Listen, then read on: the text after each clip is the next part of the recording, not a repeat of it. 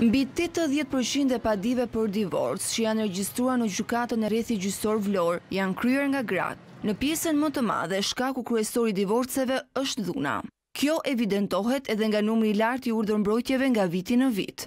Avokatja Elona Shaqira i tha për Euronews se shkaqet e divorceve mbeten të shumta, por zbatimi i urdhrave të mbrojtjes mbetet ende një sfidë. Urdhrat e mbrojtjes, unë mendoj që këtu duhet të luajë rol shteti, Policia e Shtetit, i plotfuqishmi i zonës që quhet, në mënyrë që urdhrat e mbrojtjes të mos depozitohen vetëm në zyrat përkatëse të Përmbarimit Shtetëror apo në Polici, por luan një rol kryesor përfaqësuesi po themi i Njësisë Administrative i Lagjes për familjen përkatëse që kanë një urdhër mbrojtje, se që aty fillon problemi. Domethënë rastet më të shumta që unë kam pasur të urdhrave të mbrojtjes janë sepse personat që janë që kanë detyrën e administratorit lagjes përkatëse nuk marrin përsipër që ta çojnë problemin deri në fund. Për psikologen Oljana Manaj, zgjidhja e martesave jo domosdoshmërisht duhet parë si një fenomen negativ, pasi shpesh kjo zgjidhje është një shenjë ndërgjegjësimi për të mos bashkëjetuar me dhunën apo me një marrëdhënie të pashëndetshme.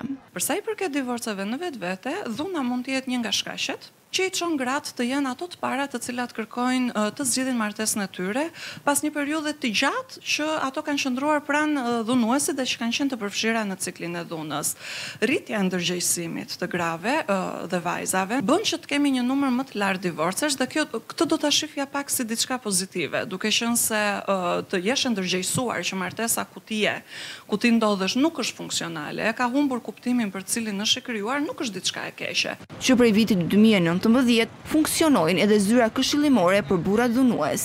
Shumica e burrave fillimisht vijnë të referuar, të referuar pranë zyrës tonë. Domethënë pjesa më e madhe e tyre në një farë mënyre janë të detyruar prej policisë, gjykatës apo koordinatorit të dhunës në Bashkinë Vlorë. Duhet të kuptoni që kur flasim për dhunë në familje shkakton probleme pa fund që çojnë në divorc, çojnë në problematika të tjera familjare, ekonomike dhe sociale dhe patjetër që një pjesë e mirë e tyre kërkojnë që ta ndryshojnë situatën në të cilën ndodhen. Sipas shifrave zyrtare, mesatarisht, tri kërkesa për divorc paraqiten çdo ditë pranë Gjykatës së Rrethit Gjyqësor Vlorë. Duke u bazuar te të dhënat zyrtare të INSTAT, numri i rritur i divorceve shkon paralelisht me uljen e numrit të martesave.